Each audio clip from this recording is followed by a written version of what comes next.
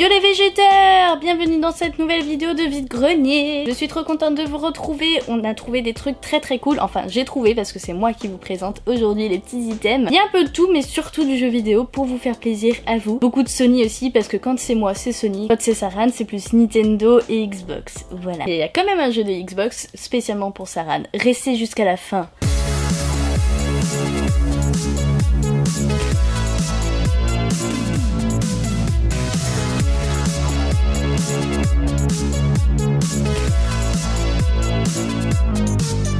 Pas de je commence tout de suite avec un petit jeu de PS2, enfin deux jeux en un plus précisément. Il s'agit de Dot Hack Infection. Alors normalement il n'y a qu'un seul jeu dedans. Sur la boîte il s'agit bien de la partie 1, sauf que c'est la partie de dans la boîte et le deuxième CD c'est Final Fantasy X-2. Alors pour la petite histoire c'est Alès qui l'avait trouvé à la base, qui a dit finalement bah non c'est pas le bon jeu dedans donc je le prends pas, tant pis. Nous on s'est dit oh bah tiens on connaît pas ce jeu et tout, ça a l'air bien, c'est très très beau en tout cas, le design est très très beau même derrière on le voit et tout. On s'est dit bah peut-être que on va trouver le CD1 quelque part et tout parce qu'on pensait que c'était un jeu en deux parties, ce qui aurait pu, hein, vu qu'il y a un et deux. en fait non, ce sont deux jeux différents. Donc le 2 c'est Dot Hack Mutation. Là c'est du coup la boîte comme je vous ai dit du premier Hack Infection. Et en fait, il s'agit d'un truc hyper vaste, hyper grand, qui a été adapté en animé et tout, et c'est hyper riche. Et du coup, quand je me suis renseignée dessus, j'ai vu que les jeux étaient très rares et tout, difficiles à trouver, ils sont très chers aussi. Donc finalement, je suis très contente d'être tombée dessus, même si c'est pas la bonne boîte. Euh, on a au moins la boîte du premier et on a le jeu seul du deuxième. C'est un bon début. Pour raconter vite fait l'univers en fait de ce truc, c'est en fait un virus qui se propage sur Terre et qui du coup réduit Internet en néant, donc il y a plus Internet, machin. Et du coup, ils vont fermer l'accès à Internet suite à ça. Puis finalement, un jeu va être créé à Moporg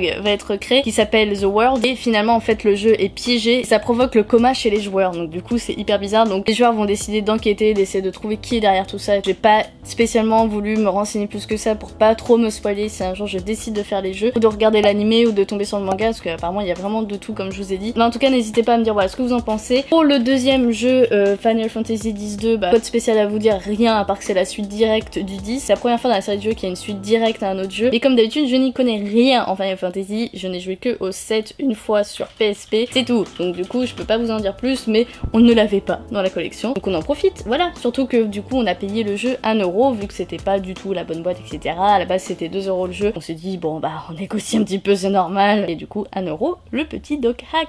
Je fais une petite pause dans les jeux vidéo en vous présentant du Blu-ray. Et là, en plus, c'est une série, et pas n'importe quelle série, puisqu'il s'agit de Il était une fois l'homme. Alors les plus jeunes d'entre vous peut-être ne connaîtront pas, mais en même temps, on n'a pas une communauté jeune du tout. Du coup, tout le monde va connaître, hein, parce que c'est un truc culte qui date des années 70 quand même, hein. c'est un peu vieux maintenant. C'est une série française qui a été créée par Albert Barillet, qui a tout écrit jusqu'à la fin. Il y a aussi la version Il était une fois la vie, que vous connaissez aussi forcément, ça allait avec en fait. Moi, pour la petite anecdote, été en BEP carrière sanitaire et sociale, et j'apprenais certains cours grâce à Il était une fois la vie, tellement on était des gogoles, tu vois, mais en gros, ils nous apprenaient genre comment fonctionne le sang et tout grâce à des épisodes de ça, donc c'était vraiment hyper cool. Et je sais que j'ai déjà regardé Il était une fois l'homme aussi euh, en classe de primaire ou ce genre de choses. Oui, c'est en primaire, je crois. On regardait beaucoup ça. Parce qu'en même temps, c'est super bien fait. En gros, ça retrace toute l'histoire de l'homme depuis euh, sa création, enfin depuis le début, jusqu'au 20 e siècle. Du coup, ça s'arrête là, forcément, hein, parce qu'il pouvait pas avoir dans le futur. Mais je me suis demandé, du coup, quel était le dernier épisode de ce truc, parce que je ne l'avais jamais vu. Et en fait, il s'agit d'une prospection. En gros, il montre ce que va devenir la Terre si on continue de polluer comme on le faisait actuellement, donc dans les années 70 déjà. Donc du coup, l'épisode doit être hyper intéressant. J'ai trop envie de le regarder. D'ailleurs, il s'appelle Il était une fois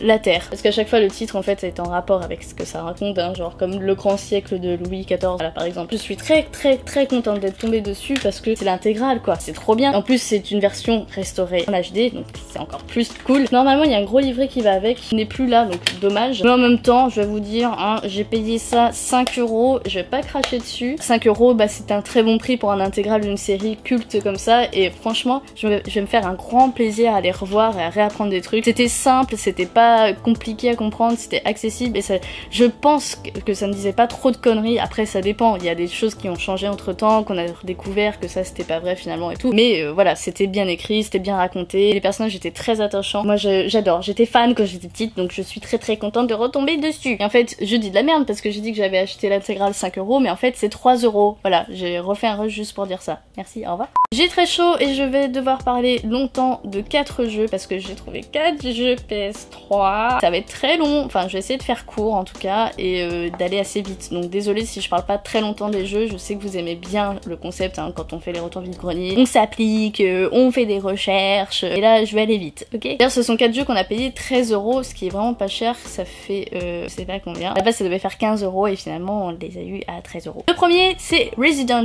Evil Révélation. Oui le fameux survival horror qu'on ne présente plus, d'ailleurs on en rentre beaucoup hein, des Resident Je pense qu'on n'est pas loin de tous les avoir, ou presque. Mais c'est cool en même temps, c'est une licence culte. Et du coup, l'histoire se déroule entre le 4 et 5, mais je sais plus lesquels sont le 4 et 5, mais c'est pas grave. Dedans, on joue Jill Valentine, que je connais parce qu'on a une pop de Jill Valentine. Il y a aussi Chris en histoire parallèle. Du coup, l'histoire c'est toujours autour d'un biovirus qui contamine des gens. Voilà, de toute façon, c'est pas très innovant en soi. Le pitch tourne forcément toujours autour de la même chose. En tout cas, sur Resident Evil n'est pas du tout boudé par la critique en plus. Ils disent justement qu'ils reviennent aux sources et tout ça, mais bon, je peux pas vous comparer par rapport aux autres. Mais vous me le direz dans les commentaires si vous le connaissez. Du coup, il n'y a pas la notice de celui-là, mais c'est pas grave. C'est quand même un Resident Evil. On l'a vu, on a du bois. Ça fait plaisir.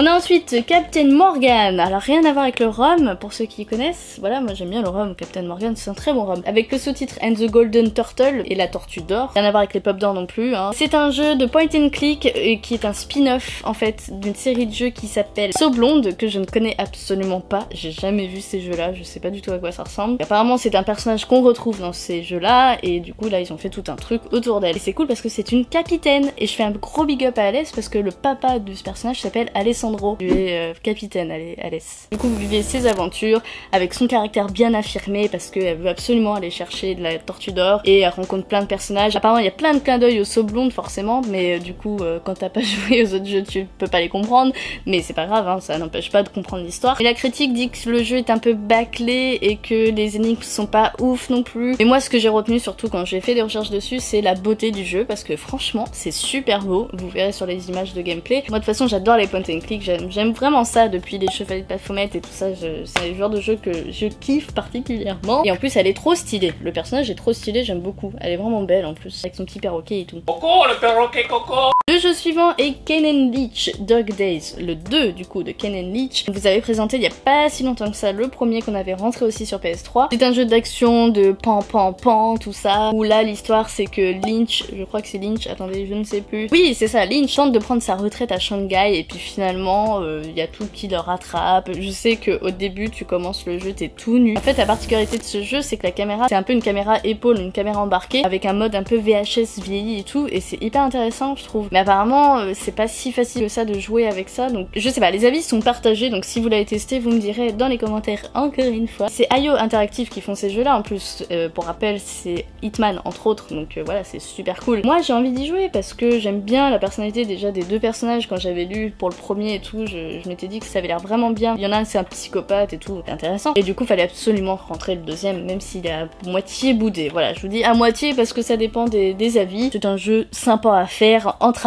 surtout qu'il y a un mode coop et c'est ça qui est cool parce que dans le premier il n'y avait pas de mode coop. Là il y a le mode coop. Ça peut être intéressant. Et avec le CD tout rose. Et le dernier jeu c'est Prince of Persia, le reboot de Ubisoft Montréal. Oui, rien de ouf pour le dernier jeu, mais moi j'aime beaucoup Prince of Persia. J'en ai beaucoup parlé, on en a beaucoup rentré. C'est pareil, je crois qu'on les a presque tous, les Prince of Persia. Voilà, c'est un épisode à part, hein, parce que c'est le reboot, comme je vous ai dit, et il est en cel shading, donc il est complètement différent des autres Prince of Persia. Quoique le gameplay, ça reste la même chose, hein. il se déplace sur les plateformes, il saute, machin, il se balance, truc muche, il court sur les murs, parce que le mec il est hyper fort. Mais en tout cas, le jeu est magnifique. J'ai vu les images, mais de toute façon, j'en avais beaucoup entendu parler à sa sortie, parce que comme j'aime beaucoup Prince of Persia, euh, quand ils avaient dit qu'ils avaient fait un reboot, machin, euh, je m'étais un petit peu intéressée à l'époque, et je m'étais dit, waouh, il est trop beau, quoi. Et c'est vrai qu'il est beau. Donc du coup, j'ai envie de le tester, parce que c'est un jeu hyper cool aussi. Même si c'est solo, bah au moins, c'est un petit jeu sympa à faire, et c'est très, euh, voilà, c'est joli à regarder. Voilà, bien sûr, complet.